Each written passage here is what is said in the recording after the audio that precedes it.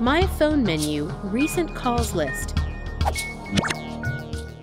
Caller ID will display on the TV as well as on your regular caller ID device. The Recent Calls list will store recent caller ID information. You can access the Recent Calls list by pressing the Menu button on the remote control and selecting the My Phone tab. If you select the Recent Calls, the Recent Calls list will show on the screen.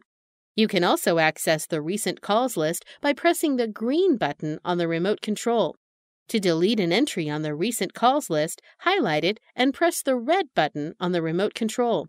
To set your phone settings, click on Phone in the My Settings list from the main menu.